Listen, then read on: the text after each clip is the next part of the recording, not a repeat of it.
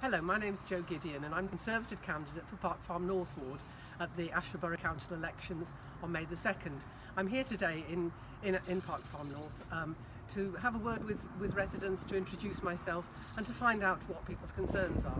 Thank you very much to the people who've spoken to me so far uh, and I promise I'll get back to you if you've given me your contact details. And to everybody else, um, I've left my calling cards if I haven't spoken to you. If you want to get in touch, uh, you can see my details on this site. Uh, I'm very keen to speak to as many people as possible and please do vote for me on May the 2nd. Thank you.